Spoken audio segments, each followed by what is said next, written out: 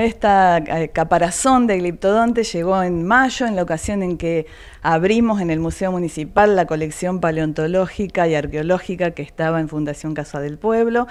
Eh, esto fue hallado eh, aquí cercano en los campos de Sol y Tierra y bueno, la provincia busca siempre el museo más cercano para exponerlo. Así que bueno, fuimos elegidos como los custodios de esta pieza que bueno, requería de, un trabajo y un armado. Esto finalmente con un subsidio que anualmente la provincia entrega a, los museos, a los museos que están en regla, bueno, lo recibimos eh, ya antes de fin de año y decidimos, entre otras cosas, destinarlo a este trabajo, que obviamente tiene un costo en materiales y en una paleontóloga que está viniendo a hacerlo, que bueno, ahora Gaby nos va a contar de qué se trata esta invitación que tenemos para el sábado 15 para todos. En este museo que es histórico y ahora también prehistórico, hacemos historia también nosotros dentro del museo.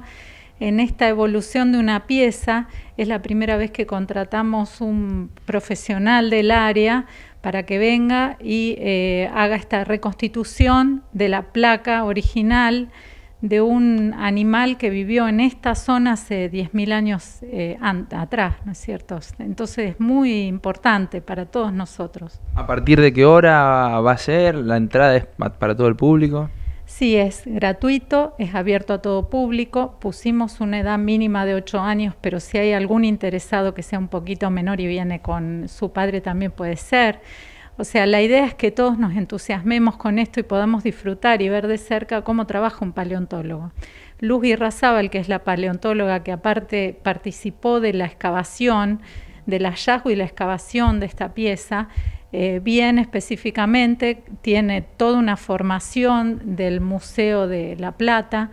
Es muy importante dentro de la nación eh, que venga ella, ¿no es cierto? Entonces, para firmar es todo un lujo y que podamos disfrutarlo y también acercarnos a la profesión de un paleontólogo que es casi de películas, ¿no es cierto? Bueno, hoy lo tenemos en firma de 10 a 12 eh, este próximo eh, sábado 15 de febrero. Y para aquel que por alguna situación no pueda venir, ¿cuándo va a poder visitarlo aquí en el museo?